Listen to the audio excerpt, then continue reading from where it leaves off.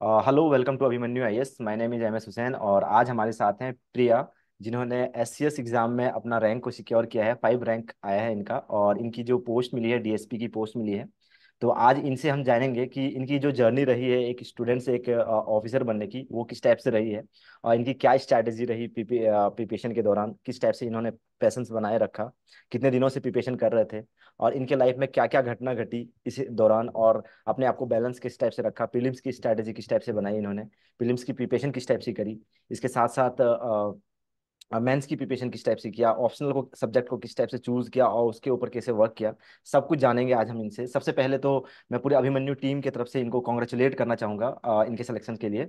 Congratulation Priya. Thank you sir और हमारे YouTube channel पे आपका स्वागत है और पूरे अभिमन्यु टीम की तरफ़ से। Thank you sir ji. Priya आप अपने बारे में बताइए कि आप कहाँ से बिलोंग करते हो? आपकी एजुकेशन क्वालिफिकेशन क्या है? सर मैं हरियाणा के सोनीपत डिस्ट्रिक्ट से बिलोंग करती हूँ और मैंने सोनीपत से ही मेरी स्कूलिंग ट्वेल्थ तक कंप्लीट करी है लिटिल एंजल स्कूल से। उसके बाद मैंने Miranda house college Delhi university से फिजिक्स ऑनर्स किया है और उसके बाद मैंने तैयारी स्टार्ट कर दी तो मैं सिर्फ़ ग्रेजुएट हूँ फिजिक्स में। मेरा ऑप्शनल भी फिजिक्स ही है। जी। हाँ जी सर जी। तो अभी क्या फीलिंग है? जो आपने ये आपका फ़र्स्ट सिलेक्शन है फ़र्स्ट जॉब है ये?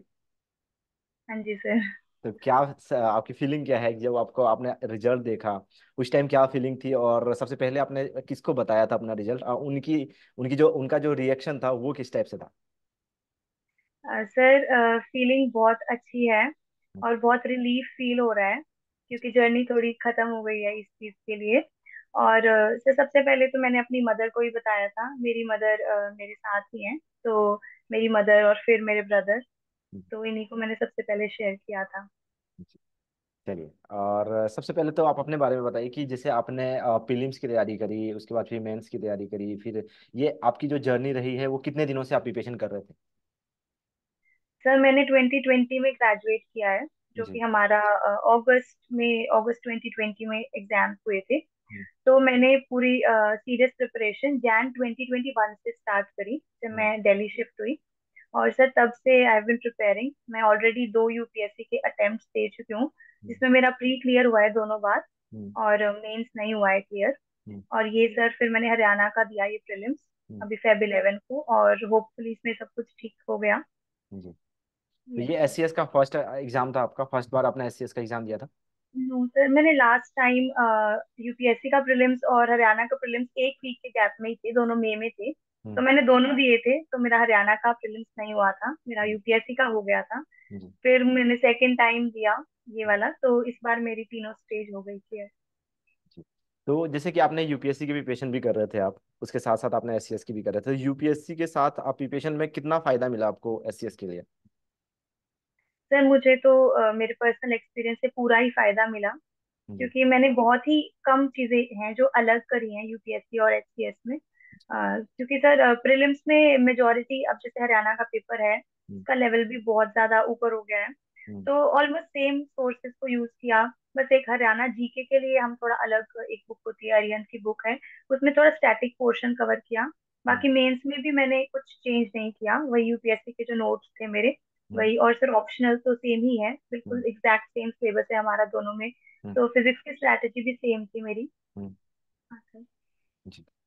तो इसके अलावा जैसे कि अगर हम लोग प्रीलिम्स की पर्टिकुलर प्रीलिम्स की बात करें तो प्रीलिम्स के लिए आपने जैसे यूपीएससी की तैयारी भी कर रहे थे आप पर्टिकुलर प्रीलिम्स के लिए आपने क्या इस यूपीएससी से हटके भी कितना प्रिपरेशन किया या फिर आपने क्या स्ट्रैटेजी अपने प्रीलिम्स एग्ज़ाम के लिए? सर प्रीलिम्स में हटके तो एक हरियाणा जी के होता है। जी।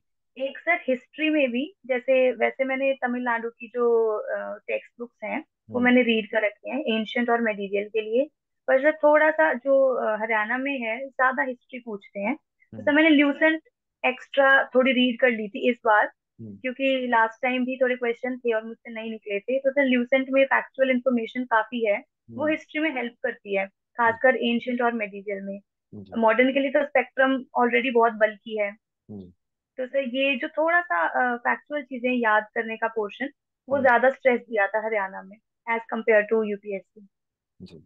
और इसके अलावा अगर हम लोग बात करें कि हरियाणा जीके के बारे में तो हरियाणा जीके के लिए आपने कितना टाइम दिया था? जैसे आपने बताया कि थोड़ा सा टफ लेवल का आता है। हाँ सर, ज़्यादा टाइम नहीं दिया था, क्योंकि सर मुश्किल है वो पूरी बुक को मेमोराइज करना या पूरा हरियाणा की हर चीज़ को लर्न करना। तो मैंने ऐसे किया कि जो इजी टॉपिक्स हैं, कि अगर बहुत ही इजी क्वेश्चन आए, जो बिल्कुल बेसिक आपको पता ही होना चाहिए अपनी स्टेट के बारे में, इजी इजी सारा कर लिया, बाकी थोड़ा थोड़ा रीड कर लिया जितना टाइम मिला, कि जो लो हैंगिंग फ्रूट्स है इजी मिस ना हो मुश्किल में तो सबसे सभी के लिए मुश्किल होगा। तो सर दो तीन बार बुक की रीडिंग कर ली एक एक घंटा दे दिया लास्ट के फिफ्टीन ट्वेंटी डेज़। और सर उसी पे कि जितना याद रह जाएगा तो और मेंस के लिए किस टाइप से किया था प्रिपरेशन मेंस की क्या स्ट्रैटेजी रही आपकी? मेंस के लिए इस बार तो बहुत ही कम टाइम था एक ही मंथ मिला पूरा टोटल हमें। तो सर मेंस में मैंने हिंदी इंग्लिश और ऑप्शनल को फोकस किया ज़्यादा। क्योंकि सर जीएस बहुत वास्ट है। आप पूरा कंप्लीट कर भी नहीं पाओगे। तो सर मैंने हिंदी पे बहुत ध्यान दिया क्योंकि सर टेंथ के बाद हम हिंदी नहीं करते हैं। मैंने टेंथ तक स्कूल में हिंदी करी है। तो हिंदी से टच हट जाता है वो लिखना मात्राएँ विलोम शब्द पर्यायवाची ये सब तो ये सब याद किया मैंने। रोज एक डेढ़ घंटा हिंदी को ज़रूर दिया कि क्योंकि पिछली बार तो बच्चे फेल भी हो गए थे सर हिंदी में। तो मैंने उसको कि फेल नहीं होना एटलीस्ट हिंदी में। तो सर हिंदी पे ध्यान दिया इंग्लिश ठीक ठाक है मेरी पर थोड़ा थोड़ा उसमें भी जैसे वन वर्ड सब्स्टिट्यूशन जो ग्रामर है जी जैसे थोड़ा लर्निंग है हम्म, उसको थोड़ा थोड़ा टाइम दिया। और हम्म, बाकी सर ऑप्शनल मेरा सारा ही टाइम ले लेता है फिजिक्स तो उस पे मैंने फोकस किया कि जितना कंप्लीट हो जाए सिलेबस एक महीने में हम्म, ताकि जो लिख के आए वो ठीक लिख के आए। जी तो आपका ऑप्शनल सब्जेक्ट फिजिक्स था? ये बहुत कम लोग रखते हैं मैथ, खास मैथमेटिक्स तो रख लेते हैं, लेकिन फिजिक्स बहुत कम लोग रखते हैं, फिजिक्स केमिस्ट्री केमिस्ट्री तो और भी कम लोग रखते हैं। तो फिजिक्स आपने रखा, इसके बारे में थोड़ा सा बताइए कि किस टाइप से आपकी जर्नी रही फिजिक्स को लेके, और यूपीएससी में भी आपने फिजिक्स रखा है? हाँ जी सर, फिजिक्स मैंने लिया तो इसलिए था कि मैं ग्रेजुएट हूँ फिजिक्स में। जी। तो मुझे लगा कि कोई भी ऑप्शनल सब्जेक्ट आप लेते हो तो वो मास्टर्स तक की डेप्थ का आपको करना पड़ता है। जी। तो फिर मुझे लगा मैं किसी और का सब्जेक्ट जिस हम्म। इंसान ने पाँच छह साल उसको दिए हैं हम्म। मैंने नहीं दिए तो मैं कैसे compete करूँगी? तो मैंने हम्म, सर फिजिक्स ले लिया। सर फिजिक्स के साथ जर्नी काफ़ी टफ थी स्टार्टिंग में। तो ये लगा लो शुरू के तीन साल फिजिक्स ने मुझे कोई रिज़ल्ट नहीं दिया। ज़ीरो रिज़ल्ट बिल्कुल।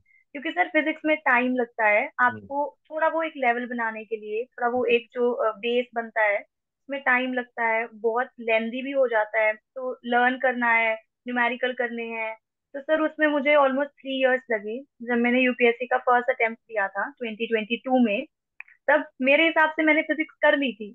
तो वो सर जब पेपर दिया तो पता चला कुछ भी नहीं किया है अच्छे से। तो वो एक स्ट्रैटेजी भी होती है करने की it's not just about just doing and doing I score just two hundred marks उस टाइम फिजिक्स में। तो जो कि बहुत ही खराब स्कोर है किसी भी ऑप्शनल में तो सर फिर मैंने मैं बैठी और मैंने देखा कि क्या करना है फिजिक्स में इसको छोड़ना है इसको कंटिन्यू करना है एक ऐसा भी पॉइंट था कि हम्म, शायद नहीं होगा क्योंकि डेढ़ दो साल तो ऑलरेडी आप कर ही रहे हो। पर सर एक वो होती है अंदर गट फीलिंग की इसी को कर लो कंटिन्यू तो सर हम्म। कर लिया मैंने आँख बंद करके। हम्म। सर फिर मैंने डेडिकेटेडली चार पाँच महीने फिजिक्स से फिजिक्स करी मेरा मेंस फेल होने के बाद। फिर फिजिक्स करी और सर फिर मेरे मार्क्स इंक्रीज भी हुए सेकंड अटेम्प्ट में फिजिक्स में पर फिर थोड़ा जीएस से ध्यान हट गया। तो वहाँ मेरा थोड़ा फॉल हो गया जीएस में। तो इस वजह से सेकंड अटेम्प्ट में भी मेरा मेंस क्लियर नहीं हुआ। तो इस बार इस एक महीने में मैंने ये सोचा कि फिजिक्स को क्योंकि अब थोड़ा सा सर मेरा बेस थोड़ा ठीक हो गया था तो ज़्यादा मेरे को टाइम नहीं लगा। मैंने एक महीने में एटी फाइव परसेंट चीज़ें कवर कर ली और वो पेपर में वर्क भी करी। सर लक भी होता है। जो हम्म। आप करके जाते हो वो आ जाता है। हम्म। क्योंकि सर चीज़ें तो बहुत वास्ट हैं।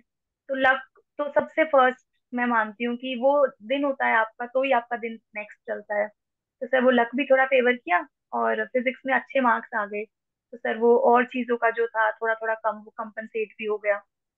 नहीं एक्चुअली देखिए फिजिक्स का दे, जैसे खास करके मैथमेटिक्स मैथमेटिक्स और फिजिक्स की जो अगर हम लोग बात करें दोनों लगभग एक जैसा ही है। अब इसमें क्या होता है कि ज़्यादा तो टाइम अपना जितना आप जीएस पढ़ोगे उतना टाइम आपका सिर्फ़ ऑप्शनली ले लेता है। तो उस टाइम उस टाइम आपने टाइम मैनेजमेंट कैसे किया? क्योंकि ये बड़ा मतलब एक खतरनाक मूव बोल सकते हैं हम लोग कि ये ये सब्जेक्ट्स इन सब्जेक्ट्स को चूज़ करके ऑप्शनल बनाना तो वो टाइम मैनेजमेंट फिर कैसे किया आपने? क्योंकि अ, कितना टाइम आप फिजिक्स को देते थे और जनरल स्टडीज़ को कितना टाइम देते सर टाइम मैनेज तो हो ही नहीं पाता है to be honest till the end. ऐसा मतलब कोई प्रो तो नहीं हुई मैं कि इतना अच्छा मैनेज कर लिया नहीं किया। तो कोशिश रहती है कि थोड़ा जीएस पर फिजिक्स काफ़ी टाइम ले लेता है सर जैसे इस मेंस के लिए हरियाणा के लिए तो हिंदी भी करनी थी। जी जी। हिंदी भी एक तरीके से चैलेंज ही थी कि अगर आदमी थर्टी थ्री मार्क्स नहीं ले पा रहे हैं तो वो सब कुछ जो है आपका वो काम नहीं करेगा। तो सर हिंदी को भी मैंने तो लिटरली ट्रांसलेशन होती हैं जो वो भी प्रैक्टिस की है क्योंकि सर हिंदी मेरी काफ़ी वीक हो चुकी थी इतना गैप हो गया था करे तो हिंदी में भी मेरा टाइम जा रहा था। सर फिजिक्स में तो जीएस तो मैंने बहुत ही कम पढ़ी है इस मेंस के लिए। तो जो मेरी यूपीएससी का मेंस के टाइम की मेरी नॉलेज थी या जो प्रैक्टिस थी उसी पे सर मैं भगवान का नाम लिखे गई थी कि पीछे कैसे बचा लेना। तो सर थोड़ा बहुत आंसर तो मैं ज़्यादा लिख भी नहीं पाई।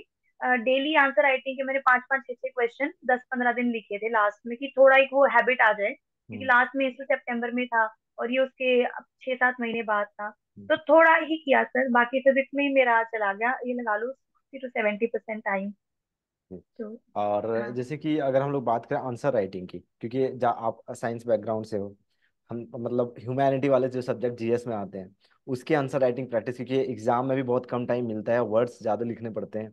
हम लोगों को खास करके मैं भी बीएससी किया हूँ तो हम लोगों को आदत होती है फैक्चुअल लिखने की। तो उसको कैसे मैनेज किया कि आंसर राइटिंग को फिर ह्यूमैनिटी वाले सब्जेक्ट से लेके? सर आंसर राइटिंग मेरी मेरे हिसाब से एवरेज है। क्योंकि इतनी अच्छी आंसर राइटिंग मेरी इसलिए नहीं है क्योंकि सर ज़्यादा मैंने प्रैक्टिस करी नहीं है।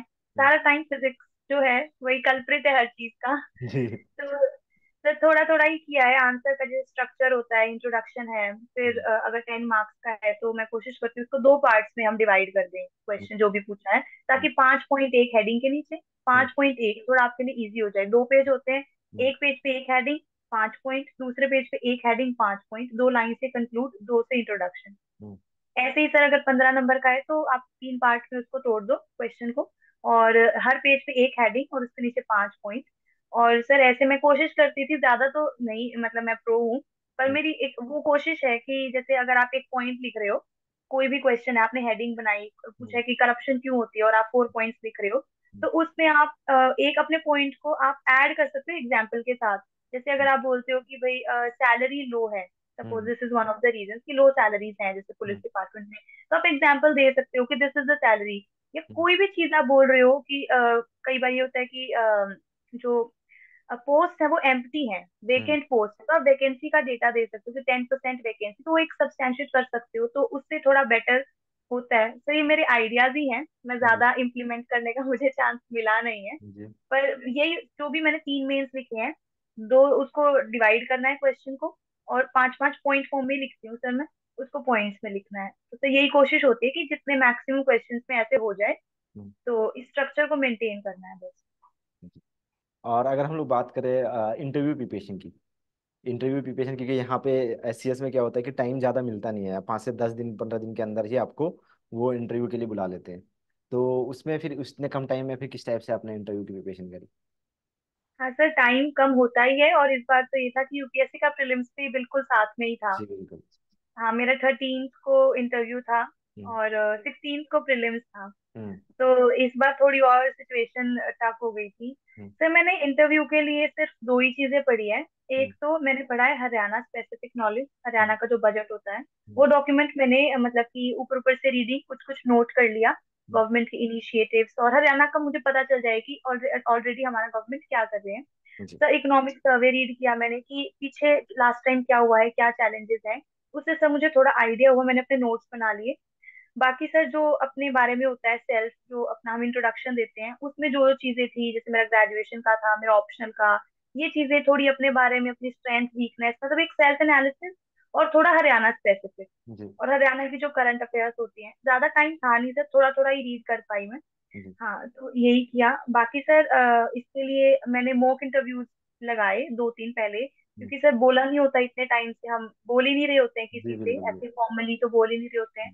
तो सर मैंने मॉक इंटरव्यू लगाया। एक मैंने आपकी टीम के साथ भी लगाया था के के गर्ग सर ने लिया था मेरा। वो मेरा फ़र्स्ट ही मॉक इंटरव्यू था। सर के साथ मेरा वन टू वन सेशन था।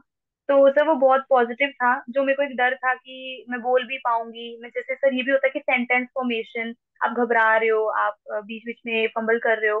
तो सर के साथ कंफर्टेबल फील हुआ मुझे और थोड़ा एक वो मोटिवेशन भी आया कि ठीक ठीक बोल रहे हो चल जाएगा काम। तो फिर मैंने एक दो और मॉक इंटरव्यूज़ भी लगाए थे और जो जो उन्होंने मेरी वीकनेस बताई जितना मैं कवर कर पाई उस टाइम मैंने कोशिश करी कि जो जो सर बता रहे हैं उसको करेक्ट कर लेते हैं। तो सर उस पर थोड़ा ही काम हो पाया थोड़ा ही टाइम था। और फिर सर दे दिया इंटरव्यू चलिए। और अगर हम लोग बात करें कि कोई ऐसा इंसिडेंट जो आपने इंटरव्यू जो इंटरव्यू पैनल में आप गए थे उस टाइम कोई ऐसा इंसिडेंट जो आप हम हम लोगों से शेयर करना चाहें? सर एक्चुअली एक इंसिडेंट नहीं मेरा सारा ही इंटरव्यू जो था वो स्पेशल और मेमोरेबल था। सर क्योंकि मेरा ऑप्शनल फिजिक्स है और मैंने ग्रेजुएशन भी फिजिक्स से किया है तो उन्हें ये बात मेरे इंट्रोडक्शन से पता चल गई थी। तो सारे मेंबर्स ने मुझसे मेजोरिटी फिजिक्स स्पेसिफिक क्वेश्चन पूछे जिसमें मैं बहुत अच्छी नहीं थी क्योंकि सर उन्होंने डेप्थ में क्वेश्चन किया और जो मैंने इतना सारा पढ़ाई करी थी हरियाणा का बजट का करंट अफेयर्स का सर्वे का उसमें मुझे कुछ खास बस उन्होंने एक ही क्वेश्चन पूछा था पीपीपी के बारे में परिवार पहचान पत्र। उसके अलावा हरियाणा से मुझसे कुछ नहीं पूछा। जनरल पूछा या फिजिक्स का पूछा। तो सर अ, काफ़ी सॉरी सॉरी वाला इंटरव्यू था। सॉरी सर काफ़ी बार मुझे बोलना पड़ा। तो सर ऐसी सिचुएशन थी। पर फिर वही है कि पोलाइटली मैं जो मुझे समझ आया मैंने उन्हें बता दिया। तो सर ऐसा ही था इंटरव्यू मतलब बहुत अ, अच्छा एक्सपीरियंस नहीं था। एक होता है कि आप जो भी वो पूछे सारा आता हो। जैसे कि और मेरे फेलो जो साथ में स्टूडेंट्स थे जैसे मैंने उनका एक्सपीरियंस पूछा था तो ऐसा भी इंटरव्यूज़ थे जिनमें कि जो भी उन्होंने पूछा तो मेरे फ्रेंड्स को आता था वो सारा। हम्म।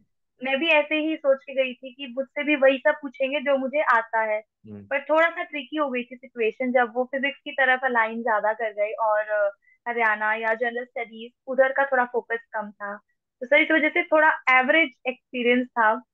पर सर मेमोरेबल था क्योंकि ये मेरा फ़र्स्ट इंटरव्यू था अभी तक का चार साल में जर्नी का। सर आई एंजॉयड इट चलिए बहुत अच्छी बात है। सबसे पहले तो सिलेक्शन हो गया रैंक भी बहुत अच्छा आया है। तो बस अब क्या चाहिए? और सबसे बड़ी बात जैसे कि बहुत सारे एस्पिरेंट्स ऐसे भी हैं जो दो साल से तीन साल से चार साल से प्रिपरेशन कर रहे हैं लेकिन नहीं हो पा रहे हैं। ठीक है तो उनके लिए अगर कोई आप मैसेज देना चाहो तो क्या दोगे? सर अ, मेरी भी सिचुएशन उन्हीं जैसी थी थोड़े टाइम पहले। कि आप कर रहे हो और रिजल्ट्स नहीं आ रहे हैं। तो उस वक्त ये भी होता है कि शायद होगा भी कि आप गलत डायरेक्शन में तो नहीं चले गए हो शायद ये चीज़ आपके लिए नहीं है। तो सर ये थॉट्स बिल्कुल नॉर्मल है और ऐसे रोज आते भी हैं कि गलती तो नहीं कर ली जैसे मैंने मास्टर्स नहीं करी है मेरे साथ वाले बच्चों ने मेजोरिटी ने करी है।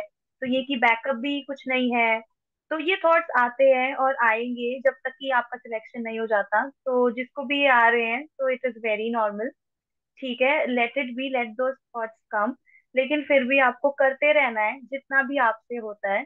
सर ऐसा ज़रूरी नहीं होता कि हर दिन आपको बारह घंटे ही पढ़ना है। आपके साथ में लाइब्रेरी में कोई रोज बारह घंटे पढ़ रहा है। आप इतना नहीं कर पा रहे हो। तो do not compare yourself it's okay the good days bad days होते हैं। और जैसे जैसे तैयारी में समय बढ़ता है तो थोड़ी थोड़ी मोटिवेशन कम होती ही चली जाती है। मेरे साथ भी था तो शुरू में जब तक एक भी अटेम्प्ट नहीं दिया था तो मैं ज़्यादा घंटे पढ़ पाती थी। तो क्योंकि कोई बैगेज नहीं था कोई कंपैरिजन नहीं था कोई पीछे का लॉस नहीं था। अभी तक की लाइफ की जर्नी बहुत अच्छी रही थी। फिर सर वन बाय वन आप फेल हो रहे हो फिर फेल हो रहे हो फिर फेल हो रहे हो। तो फिर ऐसा लगता है कि शायद वो जो सब बोलते हैं कि नहीं, आप अच्छे हो, आप ब्राइट हो, वो झूठ तो नहीं बोल रहे हैं। या मे बी अब आप ब्राइट नहीं हो। तो ये नॉर्मल है, लेकिन सर मेरा ये मानना है कि अगर आप कर रहे हो अपना काम, कम हो रहा है, ज़्यादा हो रहा है इट्स ओके पर आप रोज कुछ ना कुछ एक कोशिश तो कर रहे हो तो एक दिन सब कुछ ठीक हो जाएगा। सर मेरे को बिल्कुल एक्सपेक्टेड नहीं था कि मेरा हरियाणा में हो जाएगा। ये तो मैंने दे दिया। क्योंकि सर एट्थ दिसंबर को हमारा मेंस का रिज़ल्ट आया था और मैं एक्सपेक्ट कर रही थी कि मेरी इंटरव्यू कॉल आएगी। जो। नहीं आई तो सर मैंने शाम को ही एट्थ दिसंबर को ही हरियाणा का फॉर्म फिल किया था बिना किसी एक्सपेक्टेशन के कि ये होगा नहीं होगा। मुझे ये था कर रहे हैं तो आ गया पेपर ट्राई करते हैं।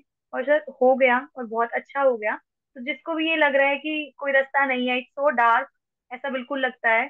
पर आप लगे रहो क्योंकि अगर आप डार्क में कुछ नहीं करोगे तो वो और लंबा चला जाएगा। तो डू समथिंग और एक दिन सर लक का भी बहुत बड़ा इसमें है। हम ये नहीं बोल सकते कि मेरी मेहनत या मेरा इंटेलिजेंस सर सब मेहनती हैं और सब इंटेलिजेंट भी हैं। सबको नॉलेज टाइम के साथ बढ़ जाती है आ जाती है। पर सर लक है जो वो मेरे हिसाब से बहुत ज़्यादा इम्पोर्टेंट एक रोल प्ले करता है। क्योंकि सर चाहे प्रिलिम्स है प्रीलिम्स काफ़ी ही डिफ़िकल्ट था हरियाणा का मेरे हिसाब से। तो सर वो लक है कि एक दो क्वेश्चन आपके जो थे वो राइट चले गए। हाँ। सेम सर मेंस में है कि आप जो करके गए वो क्वेश्चंस आए मे बी किसी के लिए जो वो करके गए वो नहीं आया। हम्म, इसका मतलब ये नहीं है कि उसने कम पढ़ाई करी। तो सर लक तो बहुत इम्पोर्टेंट है।